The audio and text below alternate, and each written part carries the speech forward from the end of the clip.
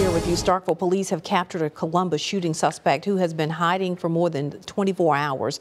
Around 5 o'clock today, Starkville police reported that 16 year old Cameron Jones had been arrested. Jones is the third suspect involved in a Wednesday shooting incident on Hemlock Street in Columbus. Investigators say that Jones was one of three suspects who pulled up to the home where that shooting happened. Police say the victim was a teenager. He returned fire during the incident. The victim was airlifted to a Tupelo hospital. Now, 16-year-old Christopher Harrell and 23-year-old Darren Hall were arrested in connection with this shooting, and they are facing aggravated assault charges. According to investigators, the teenage victim is recovering after having surgery from that shooting.